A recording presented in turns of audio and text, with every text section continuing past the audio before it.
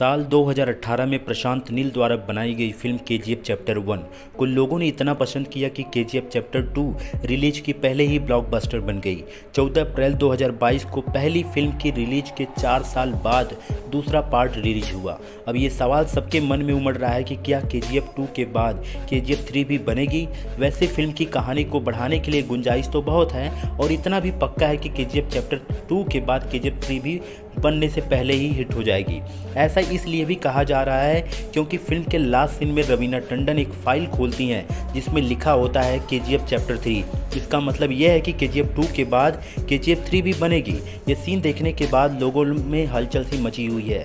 बताया जा रहा है कि के जी टू में कुलार गोल्ड फैक्ट्री के लिए रॉकी भाई और इंदिरा की लड़ाई के बाद के जी थ्री में अमेरिका, इंडोनेशिया सहित 16 देशों में फैले अवैध कारोबार के बारे में दिखाया जाएगा, जहाँ रॉकी उन सभी काले कारोबार का राजा बनेगा।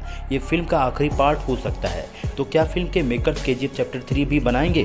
चलिए अब टू को पहले दिन मिले भयंकर रिस्पॉन्स के बाद फ़िल्म के निर्देशक यानी डायरेक्टर प्रशांत नील का कहना है कि इस फ़िल्म की सफलता के बाद हम बताएँगे कि आगे क्या करना है। डायरेक्टर अभी कोई ऐलान नहीं करना चाहते, लेकिन फ़िल्म में तो उन्होंने एक सीन में खुद ही बता दिया कि के पार्ट थ्री भी आने वाली है। वैसे तो कोई डाउट की बात नहीं है, लेकिन कल किसने देखा है? तो चलिए देखते हैं ऐसे में वीडियोज़ के लिए, चैनल को भी सब्सक्राइब करें।